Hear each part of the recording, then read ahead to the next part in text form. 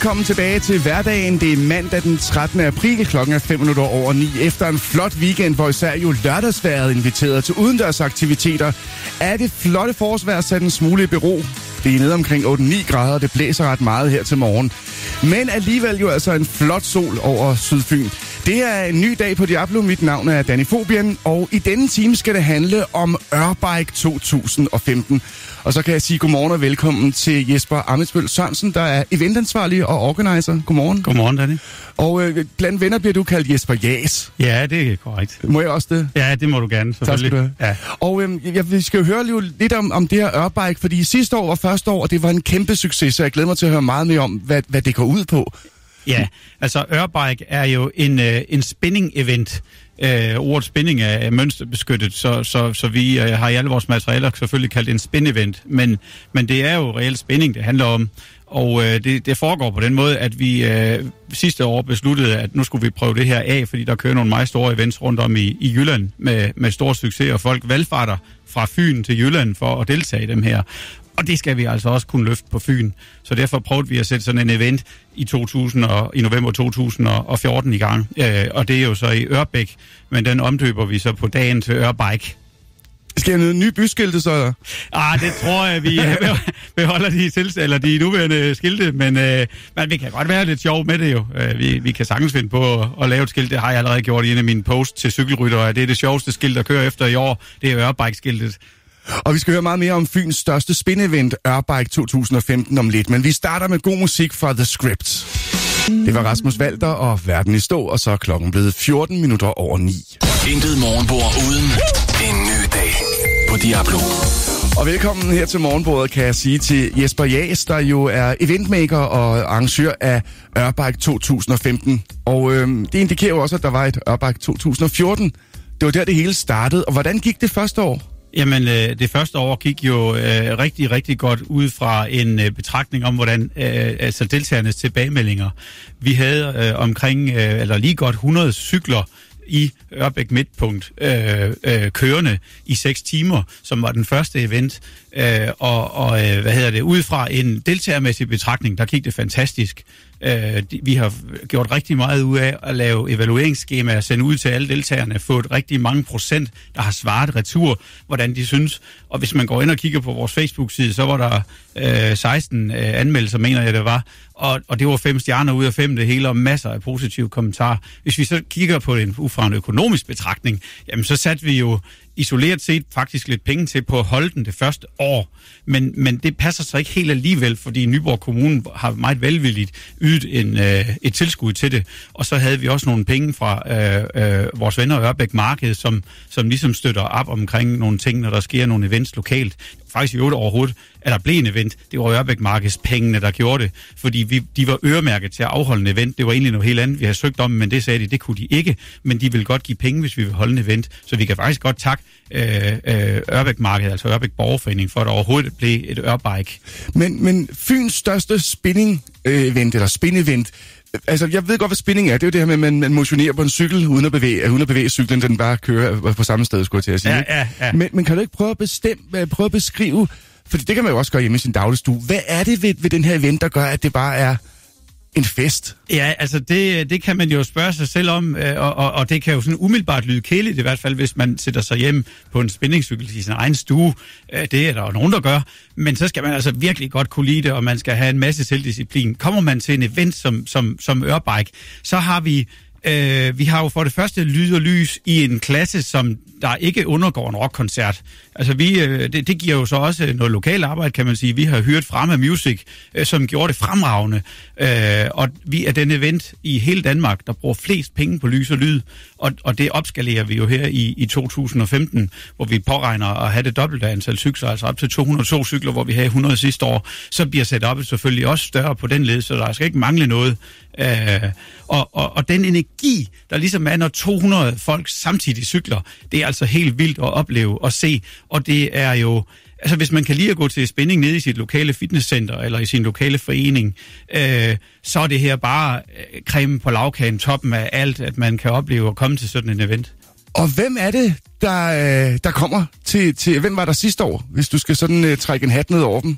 Jamen, der var faktisk øh, en meget stor spredning på det, fordi vi havde både folk, som øh, faktisk øh, ikke havde været til events før, i forhold igen til den her evaluering, øh, jeg talte om, der var der 50 procent, der aldrig havde kørt en event før. Og det skyldes jo nok lidt, at, at Fyn har været en lille smule et uland i forhold. Jeg ved godt, der har været uh, små lokale og gode events rundt omkring, men måske ikke helt op i den størrelsesorden. Så 50 procent af dem, der var der, havde ikke kørt event før, men de fleste af dem, der kommer til en event, er jo nogen, der dyrker indendørs cykling. Der er også en del, der kommer, som dyrker triathlon, og det er jo typisk dem, der tager alle ni timer i træk. Eller seks timer var det jo så i 2014, nu bliver den opskaleret til ni ja. uh, timer plus en, en bonus om morgenen. Ja, og vi skal snakke lidt mere om programmet på, på selve dagen. Øh, det er lørdag den 7. november. Det er Ørbike 2015, Fyns største øh, spin-event. Og vi skal tale sådan helt praktisk, hvad der kommer til at ske på selve dagen. Men først er det lige her motion for øh, munden. Lips are moving. Det er Megan Trainer. Klokken er blevet 18 minutter over 9. James Brown på Diablo. Her var de to fyre med inficeret. Så er klokken blevet 4 minutter i halv 10. Jeg har så fortsat besøg af Jesper Jas, der er arrangør af Ørbike 2015. Det er lørdag den 7. november, at vi præsenterer Fyns største spin-event. Og Jesper, sådan en stor event, det kræver jo stort set ikke noget at arrangere sådan en. Det de, det er bare lige at tænke på det, så sker det af sig selv. Der er stort set ikke nogen ja. udfordringer eller opgaver, vel? Nej, der, det er stort set klart på en, en time. Nej, det passer selvfølgelig ikke.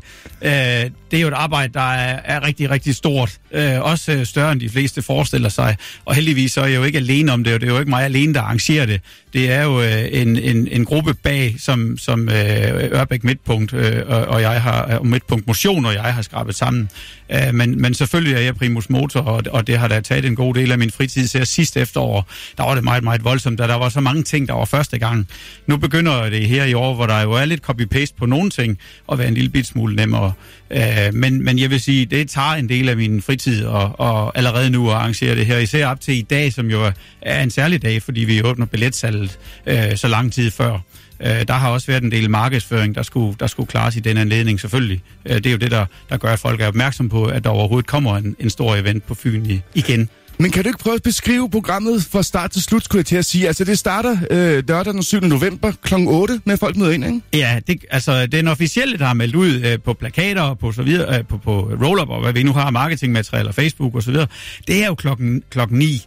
Øh, øh, og, og der starter første instruktør øh, med, øh, på scenen, så det vil sige, at folk kommer typisk, øh, og det siger vi også, de skal et kvarter før, altså senest kvart i ni. Men vi har så som arrangør besluttet, at her, der vil vi godt lige give en lille bitte smule ekstra, end folk forventer.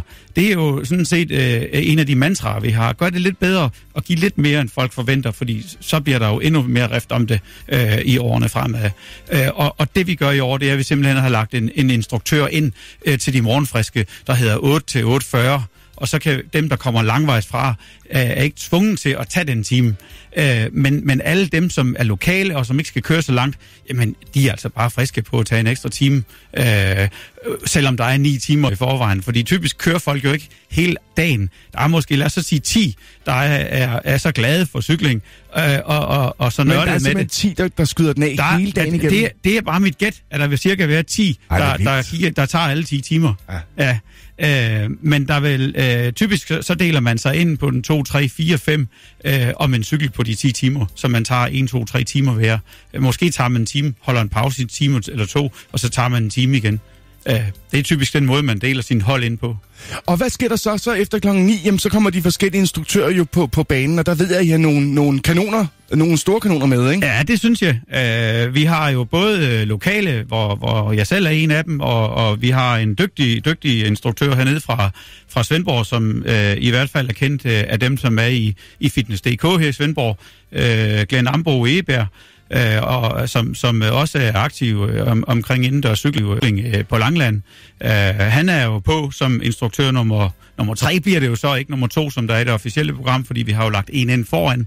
Men, øh, og så, så kan man sige, som dagen går, øh, der, der bliver det måske ikke helt de lokale navne, men det bliver de navne, vi har taget ind udefra, som, som øh, ja, er de mest efterspurgte i, i hele Danmark på indendørscykling øh, som instruktører.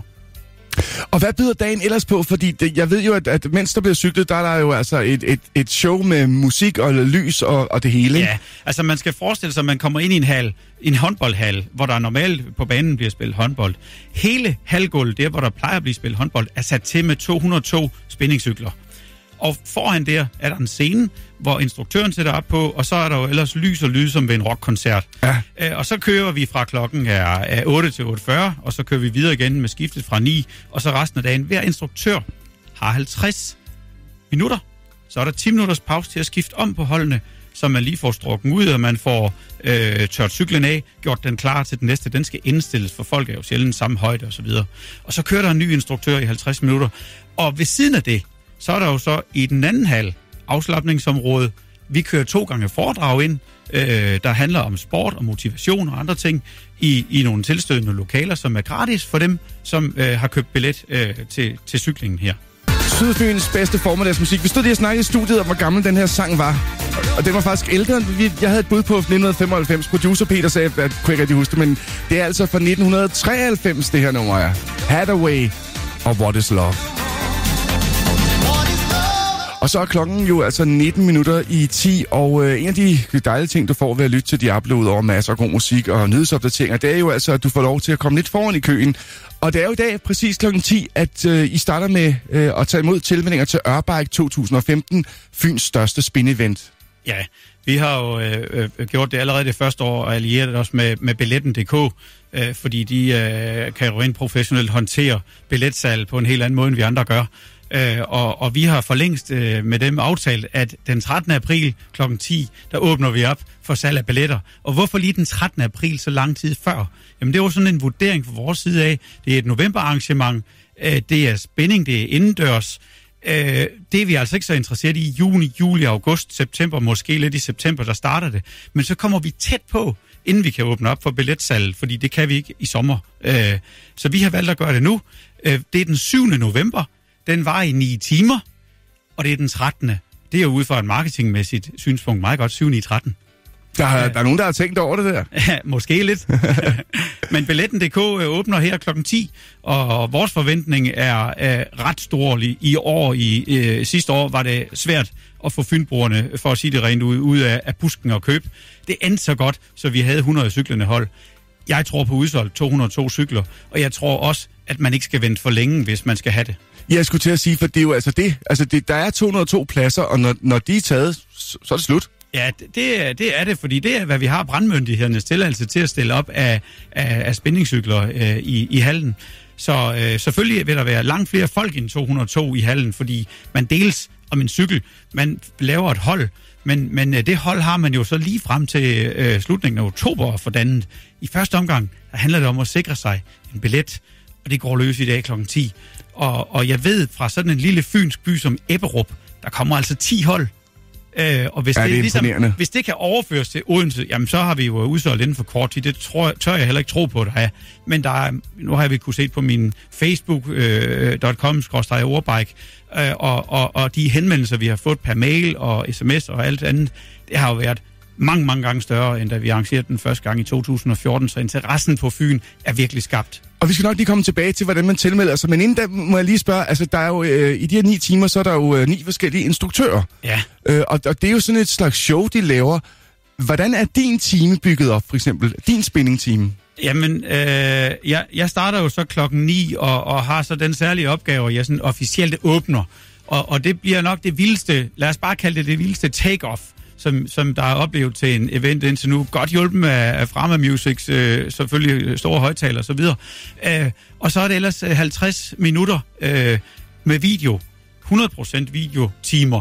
Der vil jo være to kæmpe store skærme, så uanset om man har den bagerste cykel i hallen, vil man få samme oplevelse. Instruktørens ansigt bliver filmet, så man kan se mimikken og, og, og tydeligt høre, hvad der bliver givet af kommandoer. Man skal stå op og sidde og have belastning på osv., hvad man nu siger som spændinginstruktør. Men ved siden af, der har man så det her video, som kører i øh, i samtlige 50 minutter på min time. Det er ikke sikkert, at alle sammen bliver videotimer, men det vælger man jo selv som instruktør. Jeg ved også, der er, er Thomas Alsing og Pierre Cavell, øh, nogle af de helt store kanoner, fra, der kommer fra Sjælland, de vil lave en time, hvor de begge to er på, på en eller anden måde. Så det bliver, altså det bliver show. Ved siden af, at det selvfølgelig bliver både hård og fed cykling. Og det er altså 9 timers event med fed musik og dygtige instruktører. Det er lørdag den 7. november. Det er Ørbike 2015, Fyns største spin-event. Og hvordan kommer man så med? Der er et kvarter til, øh, til billetsalget åbner, ikke? Ja, det er der. Øh, og, og jeg vil anbefale folk i år, det, at man ikke venter for længe med at finde ud af, at man gerne vil med, fordi så risikerer vi faktisk at stå med udsolgt og må melde øh, øh hus forbi. Øh, det er, øh, jeg vil sige, de kommende dage, at jeg forventer, at vi får i hvert fald solgt en 70-80 procent. Og det er jo så først til mølle princippet, vi kører med. Det vil sige, hvis man ønsker nogle af de placeringer, der er tættere på scenen, så skal man i hvert fald ikke vente. Så er det nu, man slår til. Øh, er man ligeglad, hvor man sidder i hallen, fordi der er de her to store skærme og så videre, så man får samme oplevelse bagerst, så kan man måske godt vente nogle dage. Men helt sikkert, jeg tror, vi har udsolgt, inden vi når øh, efter sommerferien. Og praktisk, hvad gør man? Jamen, man går jo på nettet, på internettet, så går man på www.billetten.dk, og så søger man på OR Bike, eller Ørbike, det kan også bruges med ø, så kommer vores arrangementer, og der er to muligheder. Der er to kategorier cykler. Den, der er tættest på scenen, koster 900 kroner for 9 timer, så det deler man jo typisk imellem de 4, 5, 6 mennesker, som skal køre den dag. Eller så er der en kategori 2, som er lidt længere væk fra scenen, koster 775 kroner. Og hvis vi sammenligner med, hvad det koster til andre store danske events, så er det faktisk nogle billige priser. Og det er altså nu om 14 minutter, når klokken den bliver 10, at salget går i gang. Det var rigtig hyggeligt at have dig på besøg her. Jeg skal lige sige, hvis man vil se interviewet her i farver, så kan man gøre det inde på diabloplay.dk. Jesper Amensbøl Sørensen, eller Jesper Jas, som jeg jo fik lov at kalde dig. Ørbike, øh, Fyns største spin-event lørdag den 7. november. Rigtig hjertelig held og lykke med eventen. Tusind tak skal du have.